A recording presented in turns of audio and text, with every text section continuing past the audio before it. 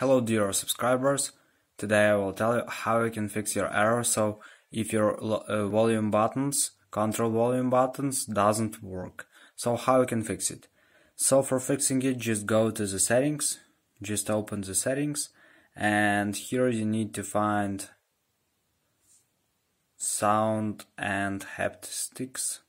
So just open it and just check if you turn on here change with buttons. So this option must be uh, turn on.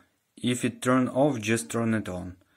So this is the way how you can fix it. So thanks for watching. Have a nice day. Subscribe to my channel. Click like and goodbye